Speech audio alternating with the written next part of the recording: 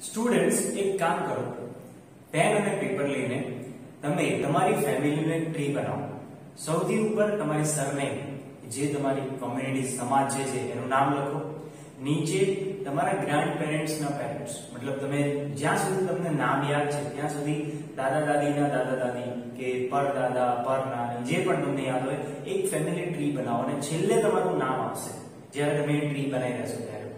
તો શરૂઆતથી એન્ડ સુધી છેક છેલ્લે છો, ત્યાં સુધી તમે જુઓ કે કેટલી વિવિધતા તમને જોવા મળે છે. તમે જે છેલ્લા પોઈન્ટ ઉપર છો રાઈટ અત્યારે જે તમે છો. અને તમારા ફાધરમાં ફાધરના ફાધરમાં મતલબ તમારા દાદા, એમના પપ્પા એમના પપ્પા, એમ કરતા કરતા જ્યાં સુધી તમને નામ યાદ છે, ત્યાં સુધીની જ્યારે તમે ફેમિલી ટ્રી બનાવશો, એમાં તમને એક વસ્તુ જોવા મળશે કે મારામાં અને મારા પપ્પાના પપ્પા, કે એમના પપ્પા, કે એમના મમ્મી છે એમાં ઘણી વિવિધતા જોવા મળે છે. સેમ વસ્તુ આજના લેક્ચરમાં કરવાની છે આપણે, કે જે સજીવો છે પૃથ્વી ઉપર, એ સજીવોને કયા ટ્રીમાં વર્ગીકૃત કરવામાં આવ્યા છે, કેવી રીતે વર્ગીકૃત કરવામાં આવ્યા છે, એ સમજવાનું છે આપણે. પણ એની પહેલા તમને એક વસ્તુ કીધું કે આ વિડીયોને તમારે એન્ડ સુધી જોવાનો છે, કારણ કે વિડીયોના એન્ડ સુધીમાં હું એક સાયન્સનું ફેક્ટ કહેવાનું છે. શેના વિશે તો કે પેરિસનું જે આઈફેલ ટાવર છે, તમને બધાને એનું નામ તો ખ્યાલ જ હશે. બહુ ફેમસ નામ છે. બહુ ફેમસ જગ્યા છે પેરિસ આઈફેલ ટાવર એના વિશેનું એક સાયન્સ ફેક્ટ કહેવાનું છું કે જે તમે નવી કદાચ પહેલી વખત જાણતા હશો ઓકે સો આ વિડીયોની અંદર આપણે વર્ગીકરણ અને ઉદ્વિકાસ આ શબ્દ છે તમારા માટે થોડો નવો છે કે ઉદ્વિકાસ એટલે શું ઓકે દેખો આપણે વાત કરીએ આદિ માનવની અને અત્યારના માનવની તમને ખ્યાલ છે કે આપણા પૂર્વજો કોણ હતા વાનર તો અત્યારે આપણે અને જે પહેલા વાનરો હતા, શું એમાં સમાનતા જોવા મળે છે? ના.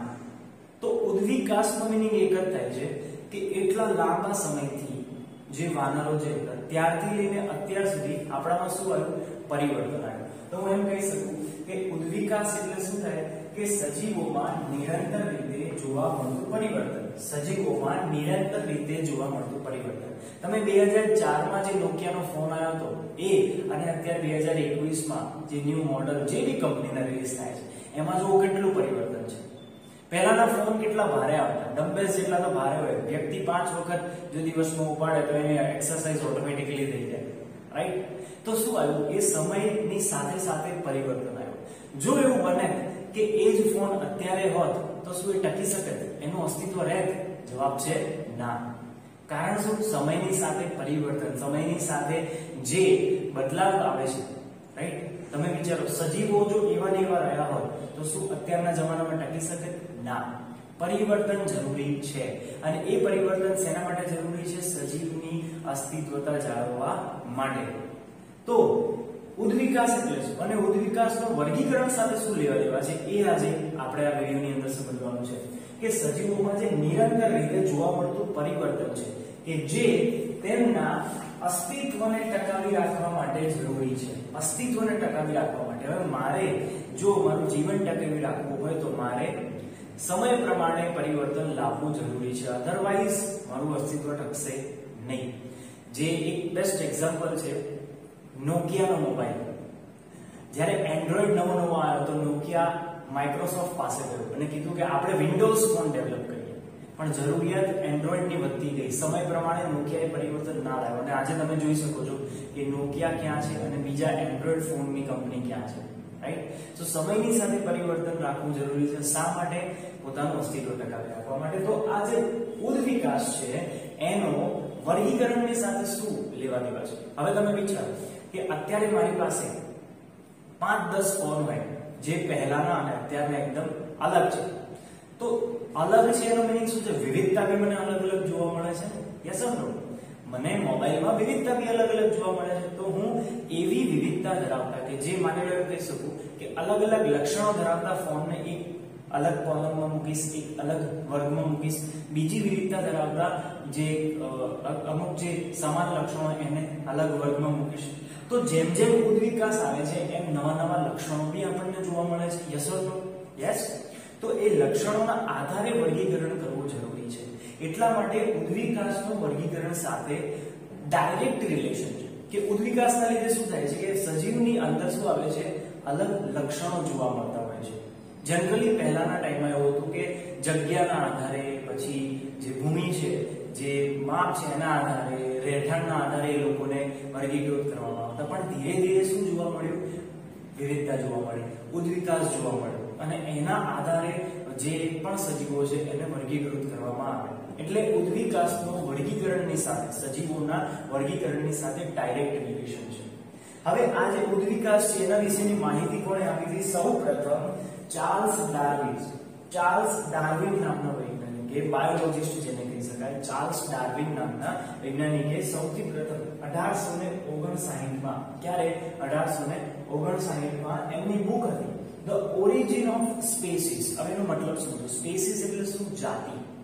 અને ઓરિજિન એટલે ઉદ્ભવ. કે જાતિ ક્યાંથી ઉદ્ભવ? સમજો તમે, એમની બુકની અંદર એમણે ઉદ્વિકાસ વિશેની માહિતી આપી હતી. કારણ કે એમણે કીધું હતું કે જેમ જેમ ઉદ્વિકાસ થાય છે ઇવોલ્યુશન થાય જેમ જેમ અલગ અલગ વિવિધતા જોવા મળે છે, એના લીધે જ અલગ અલગ જાતિઓ જોવા મળતી હોય છે. એ જ વર્ગીકરણનો એક મેઇન ઘટક બની જતો હોય છે. બરોબર? તો આપણે એ સમજવાનું છે. દેખો, એવું કહી શકાય કે જે પહેલાના સજીવો હતા, પહેલાના જે સજીવો હતા, એ બધા કેવા હતા? આદિ સજીવો કહી શકો અથવા કે કહી શકો નિમ્ન સજીવો. નિમ્નનો મિનિંગ એવો થાય છે કે કહી શકો જેમાં બહુ ઓછી વિવિધતા જોવા મળતી હતી આદિ માનવ આ શબ્દ આપણે વાપરતા હતા, યાદ હોય તો. આદિ માનવ આદિ માનવનો મિનિંગ શું થાય છે? કે ભાઈ, એ જૂના સમયનો માણસ કે જેના શરીરની અંદર કે વોટેવર કોઈ બી એવા સજીવ કે જે જૂના હતા, એમના શરીરની અંદર એવી વિવિધતાઓ ઓછી જોવા મળતી અને અત્યારે પ્રાચીન સમયનો જે માણસ તમે જુઓ કે ભારતના, ચીનના ઓસ્ટ્રેલિયાના, ઇંગ્લેન્ડના, અમેરિકાના, જાપાનના દરેક માણસોની તમે જુઓ કેટલી કેરેક્ટરિસ્ટિક્સ અલગ છે. રંગમાં, વાળના રંગમાં હાઇટમાં પછી બોલવાની જે લેંગ્વેજ એમાં, ખાવામાં, રહેઠાણમાં તમે વિચારો કે જે ઓસ્ટ્રેલિયાના વ્યક્તિ હોય, ઓસ્ટ્રેલિયા માની લો જે ક્રિકેટ આપણે ઇન્ડિયા ત્યાં જઈને આવ્યો તો ઓસ્ટ્રેલિયાનો વિસ્તાર એવો છે. ઇંગ્લેન્ડનો વિસ્તાર એવો છે. તમે વિચાર કરો કે રહેઠાણ પ્રમાણે પણ એ લોકોમાં વિવિધતા જોવા મળે છે. કેમ કે તાપમાન, ભેજ એ બધું ત્યાં અલગ અલગ છે, તો એમના આધારે એની અંદર અલગ અલગ લક્ષણો જોવા મળે છે. રાઈટ તો શું કહે છે કે પહેલાના જે સજીવો હતા, પહેલાના જે માણસ હતા, એમાં એટલી બધી વિવિધતા જોવા નથી મળતી જેટલી અત્યારે જોવા મળે છે. એટલે એમને આપણે આદિ અથવા તો નિમ્ન જે છે, શબ્દ એ કહી શકીએ. અને અત્યારના જે છે એમને ઉચ્ચ અને શ્રેષ્ઠ કહી શકીએ. પણ એ શબ્દ જે રીતે વર્ગીકરણને અને ઉદ્વિકાસને સમજાવવું જોઈએ એ રીતે સમજાવતો નથી. અથવા તો એમ કહી શકીએ કે રોંગ ડાયરેક્શનમાં લઈ જાય. ઓકે પણ એને આપણે પ્રાચીન સજીવોને નવા સજીવ તરીકે કહી શકીએ કે પ્રાચીન છે. જે લક્ષણો છે જૂના છે. અત્યારે એકદમ નવા લક્ષણો છે. ઉદ્વિકાસના. બરોબર? તો આ વર્ગીકરણ અને ઉદ્વિકાસનું ડાયરેક્ટ રિલેશન છે. પછી જે આપણે વધારે જાણવા જેવું છે કે જૈવ વિવિધતા એટલે શું? જૈવ વિવિધતા એટલે શું? કે સજીવોમાં જોવા મળતી અલગ અલગ લક્ષણો, અલગ અલગ વિવિધતા. જેમ કે શું થાય? કે ભિન્ન સજીવ સ્વરૂપોમાં જોવા મળતી વિવિધતા. ભિન્ન સજીવ સ્વરૂપ. મતલબ આપણે જે સજીવ છીએ, બીજા આપણા સામેવાળા, જે પણ સજીવ હોય, એ અલગ અલગ સ્વરૂપમાં જોવા મળતી વિવિધતા. વનસ્પતિમાં લીલો રંગ જોવા મળે છે તો આપણામાં જોવા નથી મળતો. બરાબર? પ્રાણીઓનો રંગ કઈ અલગ હોય છે? આપણો રંગ કઈ અલગ હોય છે? આપણો ગાય, ભેંસ જેવો રંગ હોય છે? ના, તો એ શું છે? સજીવોમાં જોવા મળતી વિવિધતા છે. એને જૈવ વિવિધતા તરીકે ઓળખીએ. અને એ કેવી રીતે નક્કી થાય? તો એ એક વિશિષ્ટ ક્ષેત્ર હોય, એક તાપમાન હોય, એક એક સમાન પર્યાવરણ હોય, એના આધારે જૈવ વિવિધતાને આપણે નક્કી કરીએ છીએ. અને એવું કહેવાય છે, આ બહુ એક ફેક્ટ છે ઇન્ટરેસ્ટિંગ ફેક્ટ કે વિશ્વમાં એક કરોડ પ્રજાતિ છે. કેટલી? એક કરોડ પ્રજાતિ. અને માત્ર આપણને ખબર કેટલી છે? 10 થી 20 લાખ વિશે જ ખબર છે. એક કરોડ છે. એક કરોડ અલગ અલગ સજીવો છે. સાંભળજો ધ્યાનથી. એક કરોડ અલગ અલગ સજીવો છે ને એમાંથી માત્ર આપણને ખબર છે 10 થી 20 લાખની જ. હજુ 80% સજીવો વિશે આપણને માહિતી નથી. What an interesting fact right okay પણ આપણને સૌથી વધારે જૈવ વિવિધતા ક્યાં જોવા મળે? અમદાવાદમાં આટલો ટ્રાફિક કેમ છે? ગામડાઓમાં જઈએ તો આટલી શાંતિ કેમ છે? શું કારણ? કે અહીંયા જે વાતાવરણ જેમ કહી શકો કે કમાણી, રોજગાર જે આપણે કહીએ છીએ, રહેઠાણનું જે વાતાવરણ છે મળી રહે છે, તો સજીવો માટે બી તો સેમ વસ્તુ જોઈએ ને, કે માણસો ચલો કમાવા માટે પણ બીજા જે સજીવો છે એ તો શું જોવે? એમનું રહેઠાણ એમનું જે અનુકૂળ વાતાવરણ હોય, એ અનુકૂળ તાપમાન, ઠંડી જે પણ હોય ઓકે શું કહે છે? કે વધારે જૈવ વિવિધતા આપણને ક્યાં જોવા મળે છે? મકરવૃત અને કર્કવૃતના જે પ્રદેશો છે, ત્યાં આગળ, કે જ્યાં તાપમાન અને ઠંડક વાળા પ્રદેશો આવેલા છે. Brazil, Colombia, Ecuador, Peru, Mexico, Zaire then Madagascar, Australia, ચીન, ભારત, ઇન્ડોનેશિયા, આ બધા જ જે પ્રદેશો છે, ત્યાં આગળ આપણને ઘણી બધી જૈવ વિવિધતા જોવા મળે છે. કારણ શું છે? અનુકૂળ વાતાવરણ. યસો ઓકે તો હવે આપણે આ જે પણ જૈવ વિવિધતા છે, એને વર્ગીકૃત કરેલી છે અલગ અલગ વર્ગોમાં. એક આપણે શું કહેવાય? એક બેઝિક એમએસ સ્કૂલનું આપણે વર્ગીકરણ કરીએ. ફોર એન એક્ઝામ્પલ આપું કે અહીંયા છે એમએસ સ્કૂલ. ઓકે ત્યાર પછી હું કહી શકું ઇંગ્લિશ મીડિયમ કે ગુજરાતી મીડિયમ ઇંગ્લિશ મીડિયમ કે ગુજરાતી મીડિયમ ઓકે પછી હું એને ત્રણ સેક્શનમાં ડિવાઈડ કરી શકું. પ્રી પ્રાઇમરી પ્રાઇમરી અને સેકન્ડરી પછી હું એને પાછું એ રીતે ડિવાઈડ કરી શકું કે first grade second grade third grade fourth grade પછી પાછું એ બી સી અને ડી પછી પાછા રોલ નંબરના આધારે. યસ તો હું શું કરું છું? ધીરે ધીરે કર્યું મેં એક પદાનુક્રમિત સંરચના તૈયાર કરી. ધીરે ધીરે પદ આગળ જતા જાય છે અને ધીરે ધીરે જેમ જેમ નીચેની તરફ જઈએ છે, એમ એમ એમની સમાનતા અલગ થતી જાય છે. કહેવાનો મિનિંગ કે ઓછી થઈ જાય છે. અને સૌથી નીચેના જે છે, સૌથી નીચેના જે છે એ સૌથી યુનિક છે. આ રોલ નંબર હું તમને કહું, તમારો રોલ નંબર જે હશે, એ રોલ નંબર તમારા ક્લાસમાં બીજા કોઈનો હશે? ના. રાઈટ ઓર રોંગ તો એ યુનિક થઈ એવી જ રીતે આપણે વર્ગીકરણ કરવાનું છે સજીવો. દેખો, જે અર્નેસ્ટ હેકેલ 1894 રોબર્ટ વિકેટ 1859 કાર્લ હુસ 1977 આ ત્રણ વૈજ્ઞાનિકોએ જે આપણે સજીવો છે એમને સૃષ્ટિ એક એવું મોટું નામ, વર્ગને એક મોટું નામ આપ્યું, કિંગડમ. સૃષ્ટિ. અને એમાં રોબર્ટ વિટકેટ નામના બાયોલોજિસ્ટે જે સજીવો હતા એને ટોટલ પાંચ વર્ગની અંદર વહેંચ્યા પહેલા વર્ગનું નામ છે મોનેરા, બીજા વર્ગનું નામ છે પ્રોટિસ્ટા, ત્રીજા વર્ગનું નામ છે ફૂગ, વનસ્પતિ સૃષ્ટિ અને પ્રાણી સૃષ્ટિ. આ પાંચ વર્ગની અંદર વિટકેટ નામના સાયન્ટિસ્ટે એમને વહેંચી દીધા. ત્યારબાદ એમનો જે બેઝ કે મેં સેના આધારે આ પાંચ વર્ગોમાં વહેંચ્યા? તો એક કોષીય સંરચના કે એકકોષી છે, બહુકોષી છે, આદિકોષ કેન્દ્રીય છે, સુકોષ કેન્દ્રીય છે, એના આધારે. પછી કીધું પોષણનો સ્ત્રોત કયો છે? શું પોષણમાં લે છે? ઓકે? શરીરનું આયોજન કે કેવી રચના છે એમની? આયોજન કેવી જટિલ છે કે સરળ છે? પછી કીધું કે પોષણ મેળવવાની પદ્ધતિ શું? સ્વાવલંબી છે કે પરાવલંબી?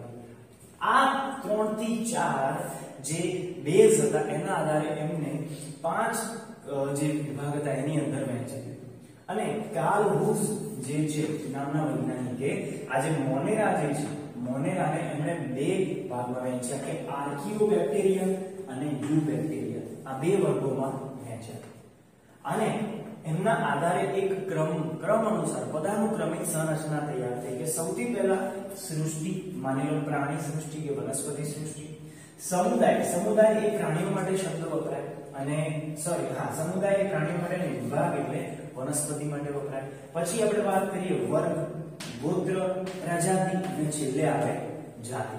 અને જાતિ શું છે? કે એવા સજીવ કે જે પ્રજનન કરીને પોતાનું જે અસ્તિત્વ છે એ ટકાઈ રાખે છે.